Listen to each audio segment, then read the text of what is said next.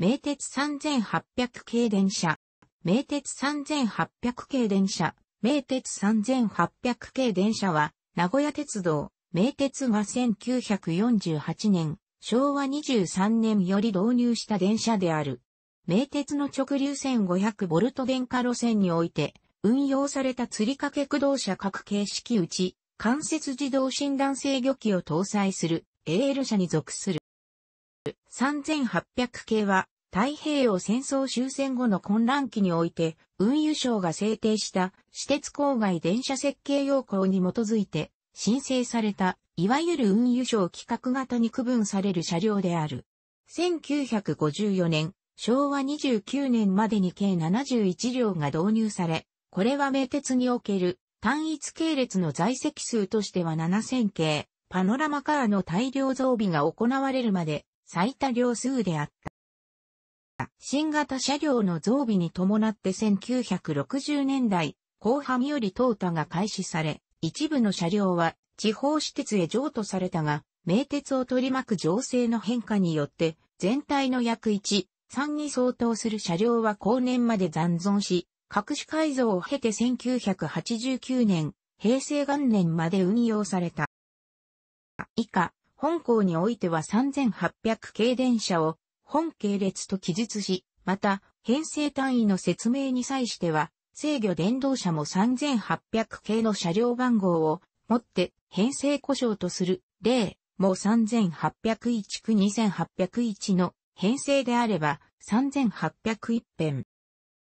名鉄は河川電圧の総用流に金山橋、現金山を境として東西に分断されていた運行系統の一本化を目的として、西武線、旧名機鉄道不設区間の河川電圧を従来の直流 600V から東武線、旧愛知電気鉄道不設区間と同一の直流 1500V へ昇圧することとし、1946年、昭和21年9月より工事に着手した。以降、変電所など地上設備の改修と並行して西武線に所属する車両のうちも800型、も850型など比較的経年の浅い電動車各形式を対象に小圧対応改造を施行し、また小圧対応改造の対象外となる車両の補充を目的に東武線に所属する制御車の一部を電動車へ改造するなど小圧準備を進めた。それでもなお不足する 1500V 対応車両については、車両増備によって充当することとした。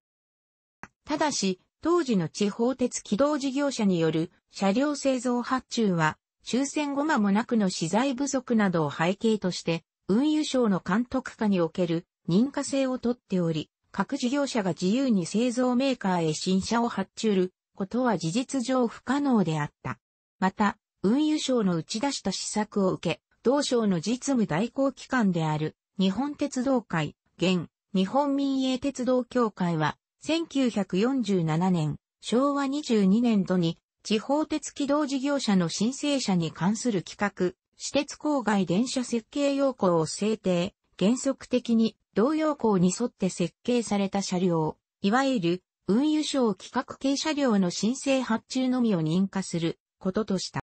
このような情勢下、名鉄は、同様校のうち従来車と規格が禁じした A 形、車体長 17000mm、車体幅 2700mm を選択。1947年、昭和22年度に制御電動車も3800系3801から3810、制御車空2800系2801から2810、の10編成計20両の申請が認可された。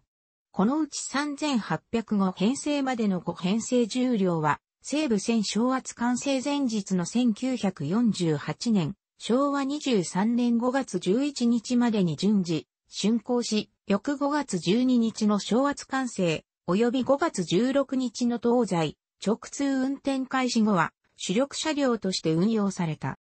ついで1948年、昭和23年旅は、前年度同様に20両の申請が認可され、10編成20両、も3811対も3829、2811、2820が増備された。さらに翌1949年、昭和24年度には15編成30両も3821体も3835区2821区2835が増備された。同年度の増備車は前期要項の改定に伴って B2 系に区分されるが、基本設計は前年度までの導入車両と同様である。その後、1954年、昭和29年に制御車空2836が1両のみ申請された。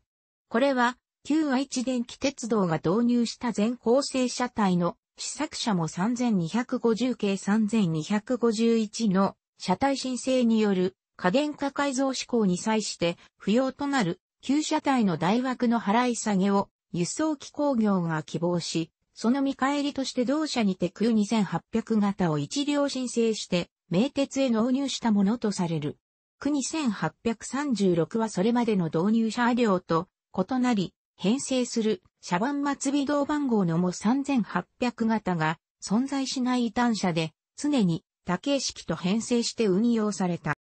以上の経緯にて、本系列はも3800系35両、区2800系36両の計71両が導入された。区2800系2831から2835が帝国車両工業、前日区2836が輸送機工業において申請された他は、全車とも日本車両製造本店において申請された。なお、本系列と同一の車体を備える車両としては、1948年、昭和23年8月に発生した大高川車庫火災において、被災消失した車両の復旧名目で1949年、昭和24年に申請されたも3750型が存在るほか、他社においては、京福電気鉄道福井支社が1949年、昭和24年に導入したホデハ線1型がも3800型を両運転台構造に設計変更したのみの同一車体を備える。構え体主要部分を普通構成とした車体長 17000mm、車体幅 2700mm の反構成車体を備える。私鉄郊外電車設計要項 A 形準拠という設計上の制約がありながら外観は従来車と比較して大きな変化はなく、もう800系の申し子と言うべき存在、もう800系以来の名鉄車両の血統が息づいているなどと評される。もっとも、車体長については、A 形の制約から従来車より500から600ミリメートル短縮されており、比較的外観の近似下も800型と比較すると、客用扉間の側窓が1枚少ないという際が生じている。もう3800系、区2800系とも両形式の連結運転を前提として、一方のつま面にのみ、運転台を備える、変運転台仕様とし、前後つま面中央部には、貫通扉を設け、その左右両脇に前面窓を配した。側面には 450mm 幅の乗務員扉、1100mm 幅の片開き客用扉、700mm 幅の側窓を配置し、これらの寸法はいずれも A 形の設計要項に基づいたものである。側窓構造は3400系、流線及びも3350系、初代、後の2代目も3600系以降、名鉄が導入した車両における標準仕様となっていた一段上昇式の一枚窓では、なく上下段上昇式の二段窓に変更さたが、これも私鉄郊外電車設計要項に基づいた設計変更である。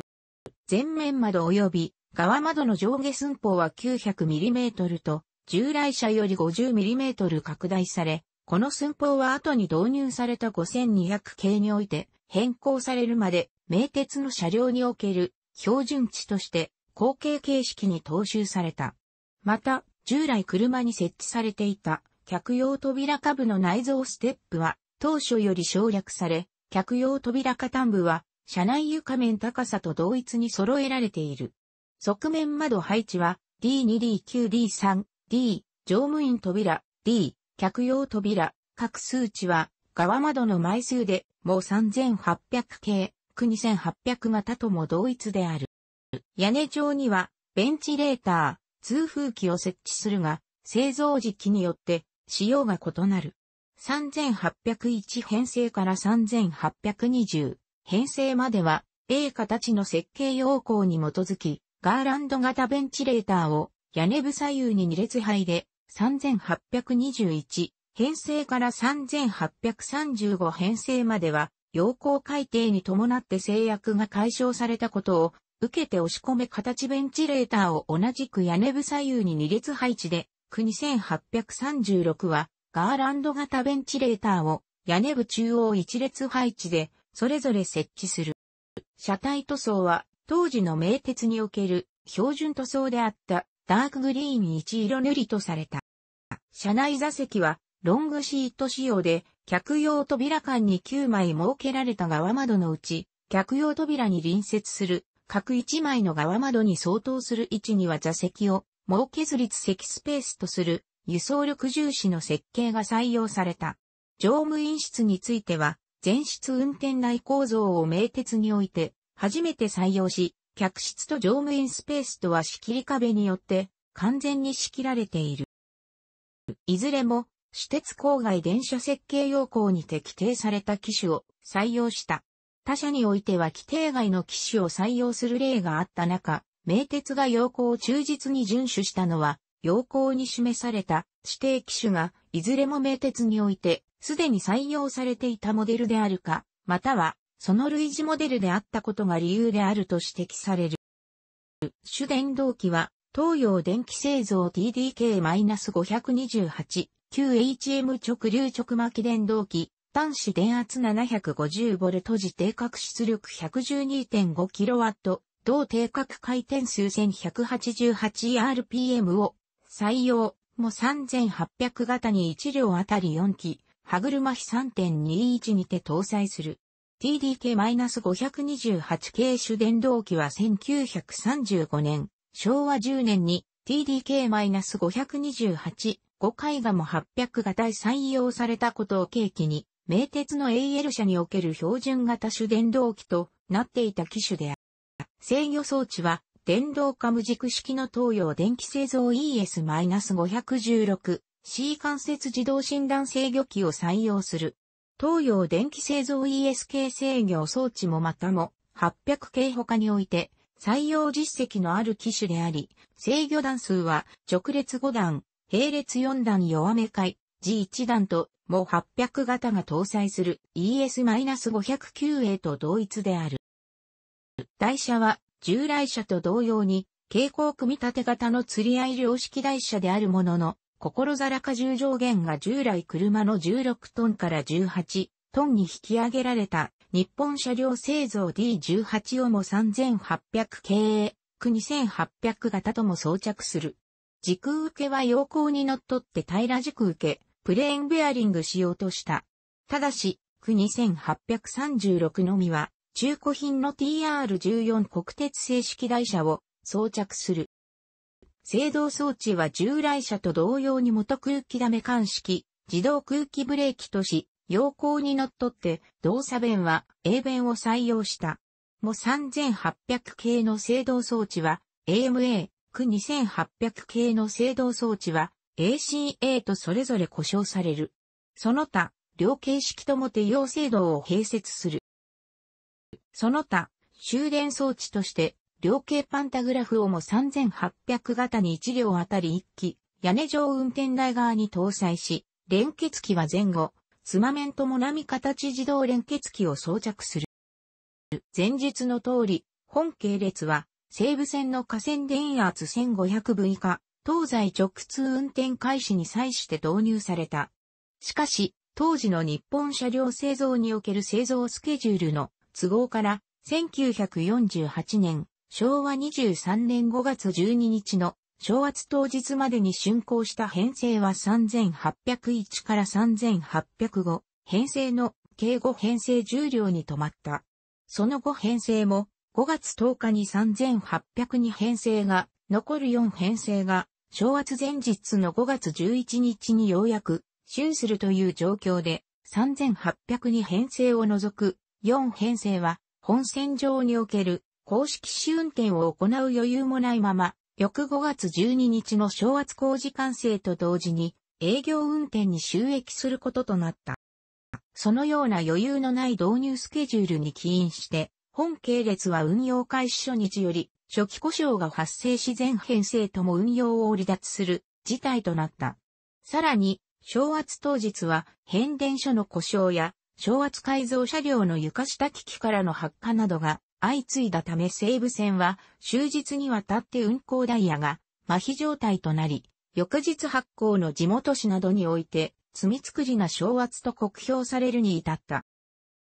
あと2本系列は故障箇所を修復して運用に復帰した。当時の名鉄の在籍車両は戦中から終戦直後にかけて酷使された整備不良車が多数を占める中、窓ガラスを完備するなど車内外とも整備された型車両の本系列は現場、乗客の双方から歓迎されたという。また、5月16日の東西直通運転開始に先立って前日の5月15日に新岐阜、現、名鉄岐阜と与橋間にて運行された東西直通特急の公式運転に際しては本系列がも3805体も3804、2804の3両編成を蘇生して充当され、同区間を約2時間で走破した。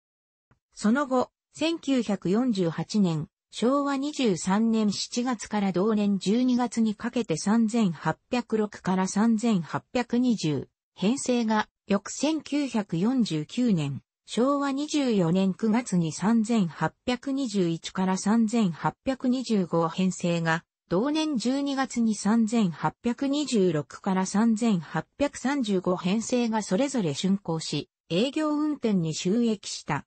1949年、昭和24年度導入分については、車体寸法の都合から運用上の制約が大きかった3700系、初代、国鉄モハ63型割当て車10編成20両の代替を兼ね、15編成30両の大量増備となった。後1954年、昭和29年3月に竣工した区2836を加えて、計71両が導入された本系列は、1950年代の名鉄における代表形式として、戦後復興期の輸送力増強に貢献、特急運用から普通列車運用まで幅広く充当された。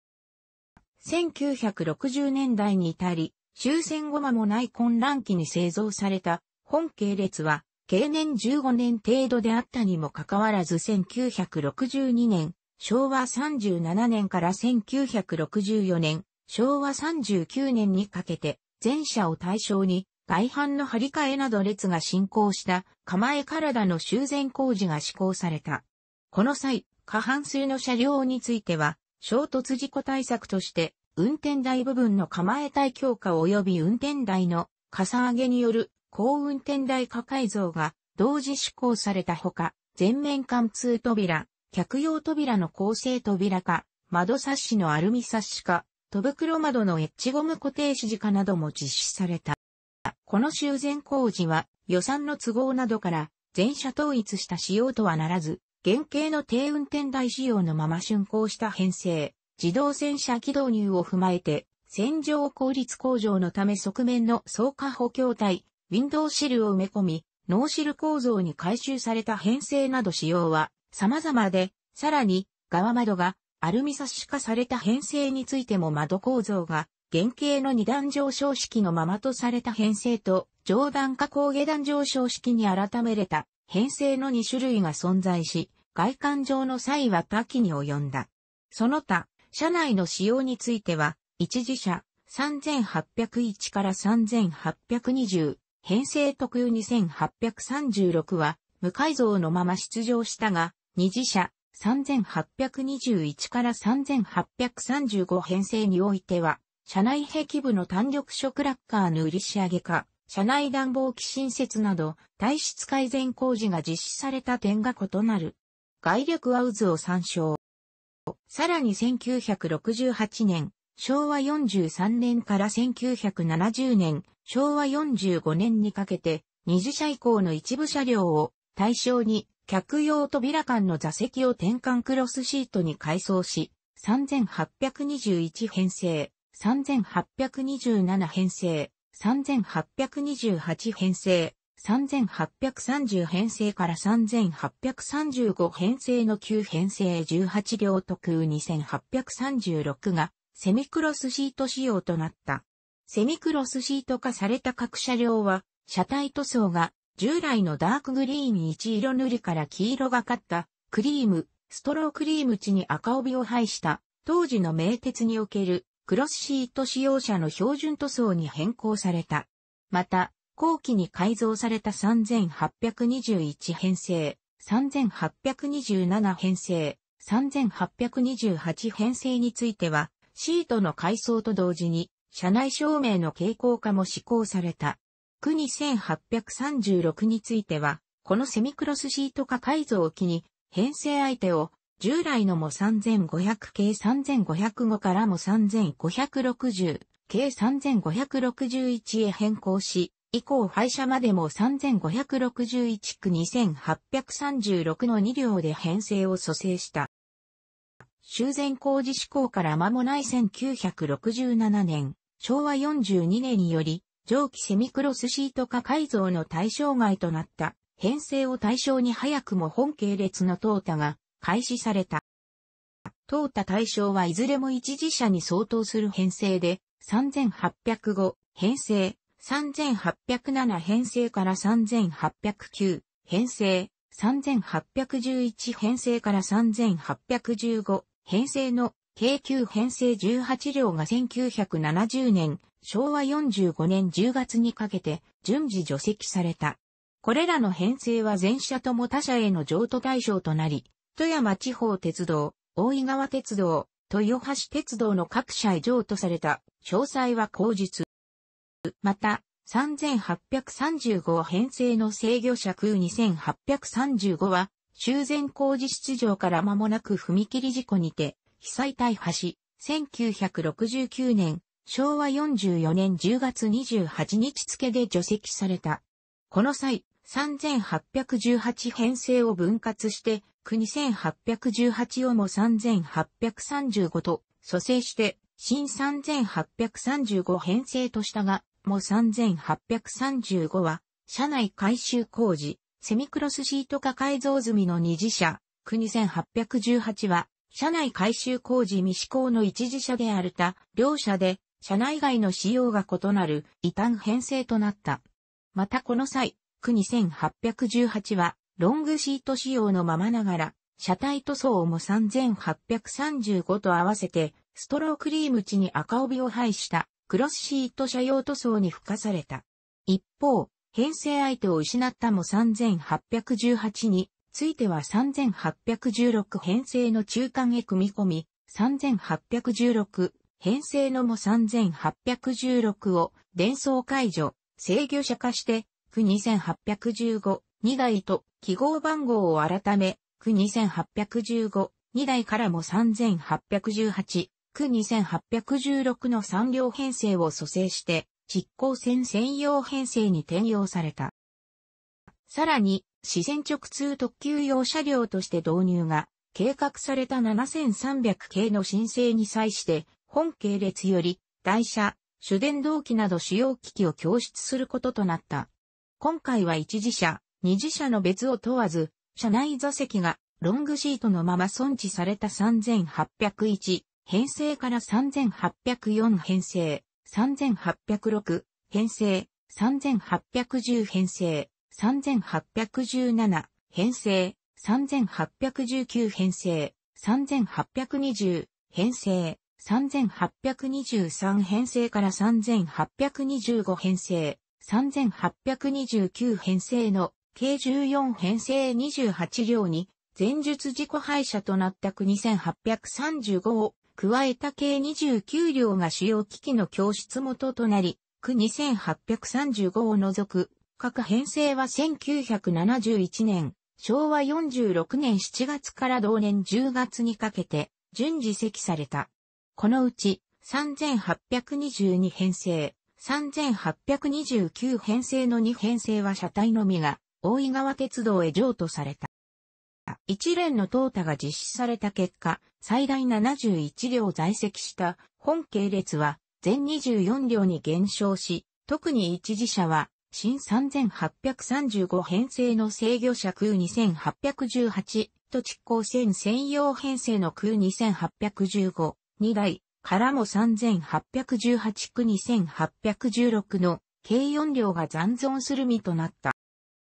本系列を含むエール車各形式を種車とする7300系への車体更新はその後も継続する計画であったが、1970年代の高度、経済成長期における輸送量増加は年々激しさを増し、同数代替となる車体更新車の増備よりも車両数が純増となる申請車の増備が求められたことから7300系の導入は1971年昭和46年度のみで打ち切られた。さらに1973年、昭和48年の第一次オイルショックによって、従来自家用車を利用した通勤客の公共交通機関への移転が進み、朝夕ラッシュ時における混雑率の悪化は限界に達した。名鉄は輸送事情改善のため戦後の大手私鉄事業者としては異例となる他社からの譲渡車両導入に踏み切るという非常手段を取らざるを得ない状況となり、従来車の代替を実施する余裕はなくなったため、本系列の淘汰も一時中断された。1973年、昭和48年より、車内照明が白熱伝統仕様のまま存置されていた編成を対象として、蛍光灯化改造が施行されたほか、全面ワイパーの自動動作化、装着する D18 台車の軸受けのコロ軸受け、ローベアリング化が1975年、昭和50年までに残存する全車を対象に施行された。同時期には全消灯のシールドビーム2等化も順次施行された。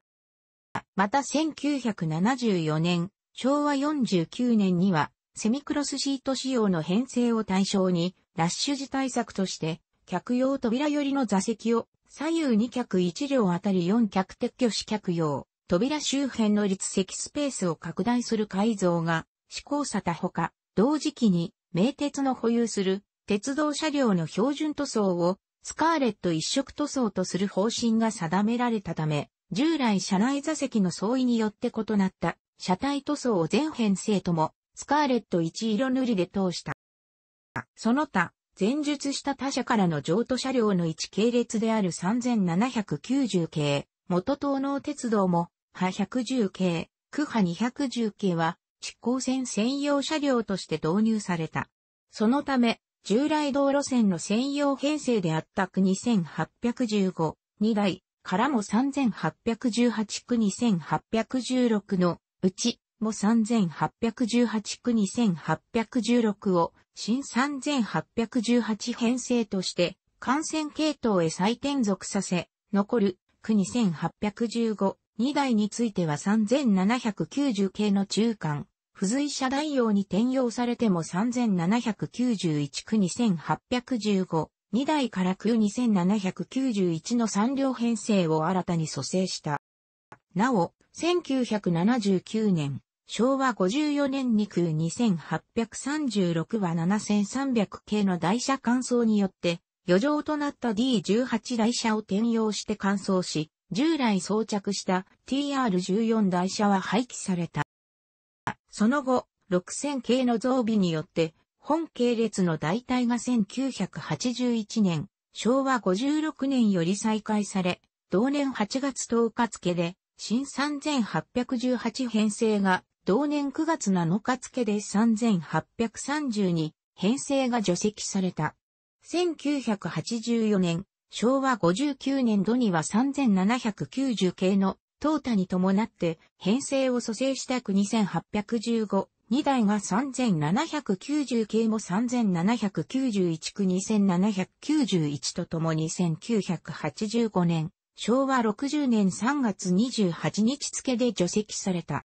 なおこの間、3880系、元東急3700系の廃車に際して、ク2800系2818.2821 2826から2828.2830 2831.2833 2834.2836の軽重量が台車を3880系の廃車発生品である住友金属高 KS-33E 台車に換装した。同重量が従来装着した D18 台車は、HL 更新車の3700系列へ玉付き、転用され、従来主車由来の雑多な台車を装着した同系列の台車統一に用いられた。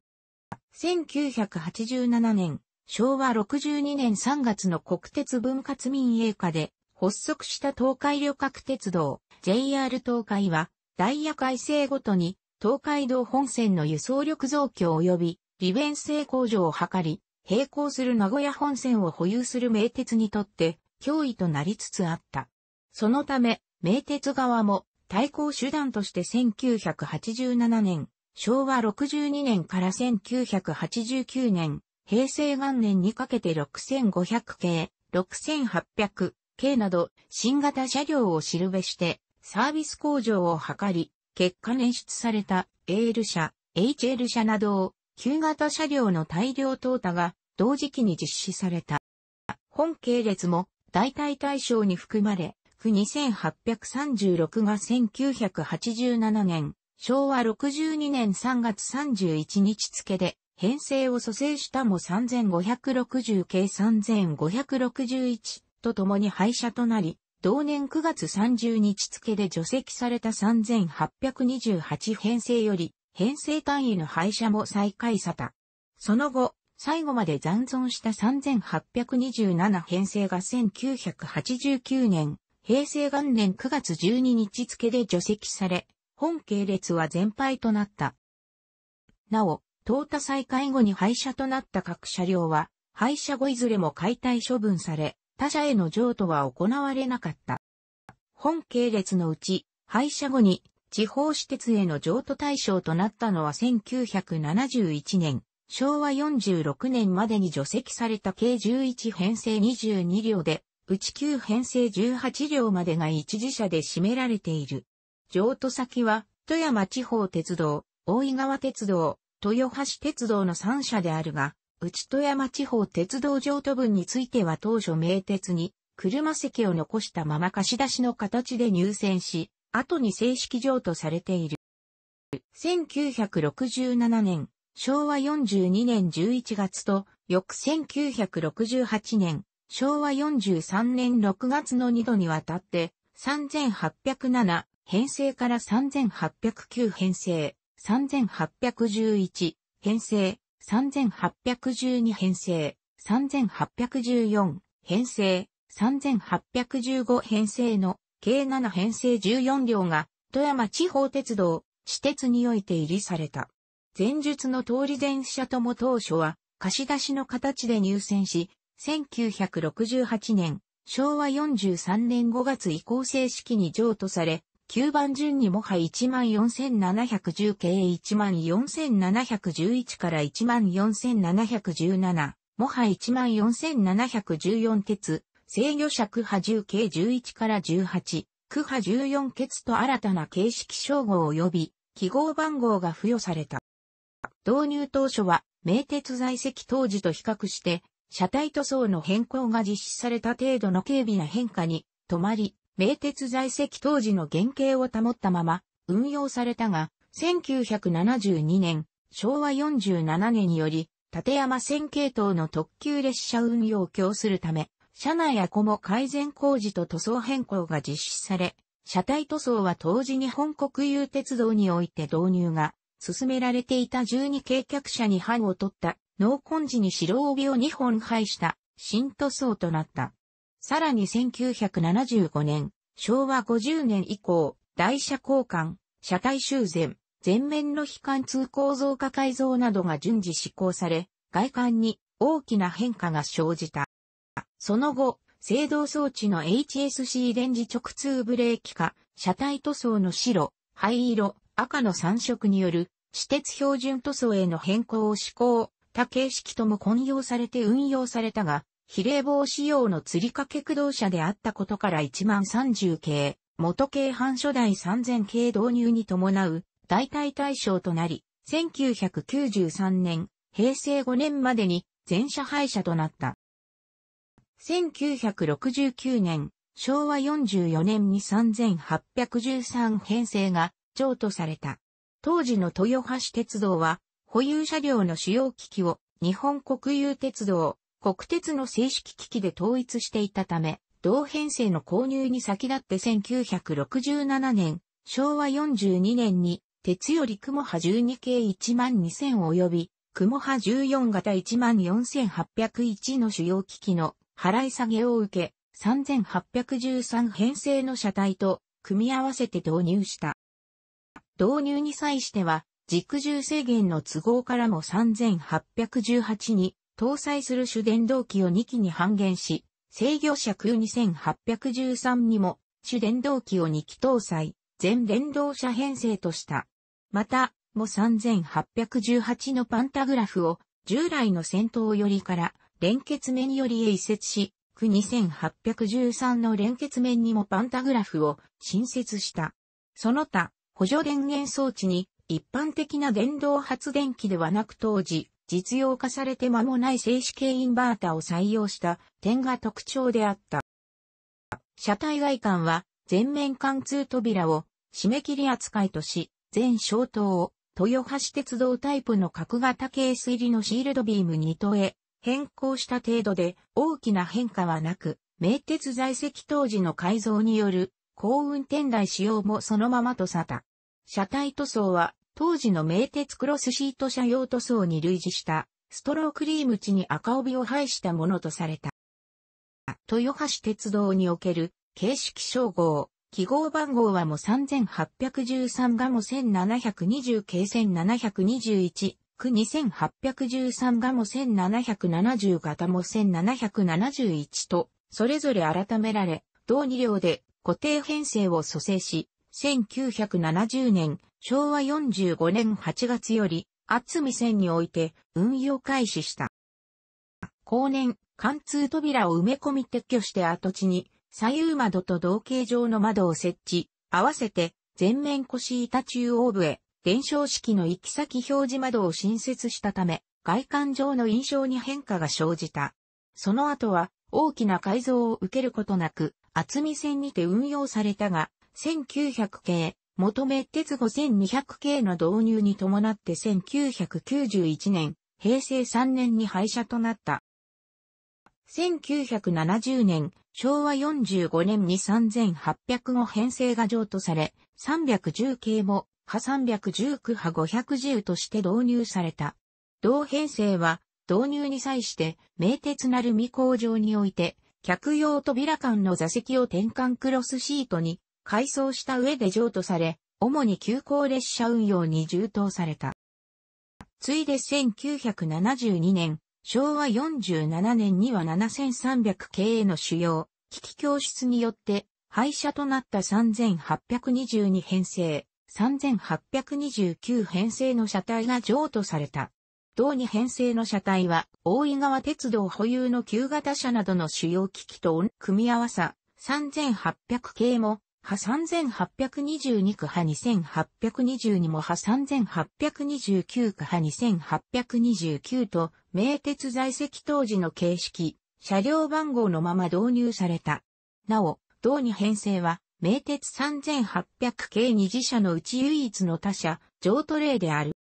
310系区派510は1986年、昭和61年に車体をオープン構造に大改造し、納涼展望電車区派86系861となった。区派510の納涼展望電車化によって編成相手を失った。モ派310は1992年、平成4年3月に廃車となり、その他3829編成は1988年、昭和63年に、客用扉間の座席を名鉄7000系の廃車発生品を流用して転換クロスシート仕様に改装した。